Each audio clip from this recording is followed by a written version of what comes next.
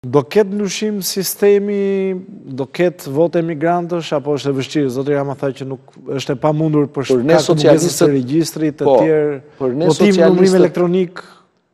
Për ne socialistët vota e emigrantëve është thelbësore, është domethënë është një e drejtë ju e dini që kemi pasur një ministri të tërë që i ka shërbyer kësaj agjende ka qenë 2013 dhe ka bërë të gjitha detyrat e shtëpisë, që ka bërë gjithë detyrat e shtëpisë për ta për ta arritur këtë gjë.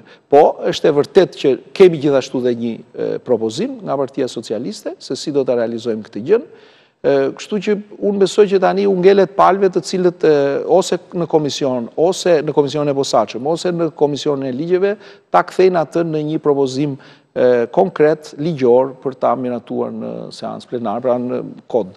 Partia Demokratike Zyrtare ka një akuzë ndaj jush se po bashkëpunoni me rithemelimin me zotin Berisha sepse nuk doni të ndryshoni ato ndryshime kushtetuese që cënuan jo pak demokracinë e brendshme të partive politike në vitin 2008. Ka një agjendë të tillë apo jo? Jo. Tani si mundet Partia Demokratike Zyrtare të na akuzojë për një gjë për të cilën ata kanë qenë aty, kanë qenë pjesë e atyre ndryshimeve, i kanë miratuar. Pra mua më duket që e, nuk do doja të futesha fare te kjo pjesa ku e, copzat e opozitës marrin dhe ngrenë gishtin ndaj e, njëra tjetrës. Pra nuk mundet që t'i thuash shumicës që shiko në momentin që s'më more mua propozimin në konsideratë ti je duke punuar me atë tjetrin. Ne si shumicë kemi opinionin tonë dhe neve jemi të gatshëm të bashkëpunojmë dhe të negociojmë dhe të debatojmë me të gjithë ata që janë aty.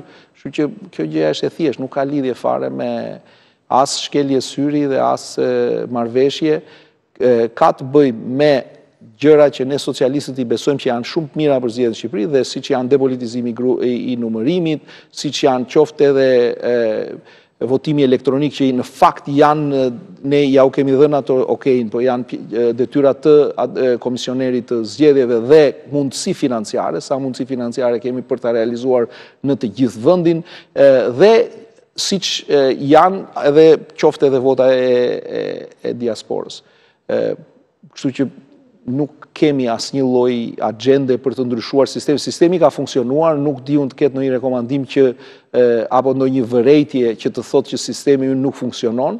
Pra vota numërohet, vota shkon dhe tek i parapëlqyeri i zgjedhësit, Kështu që ajo çfarë ne duhet të bëjmë është që të adresojmë shumë mirë ato detyra që na ka lënë OSBE ODIHR-i dhe Gjykata Kushtetuese që unë besoj që janë në çështje zgjidhjeje.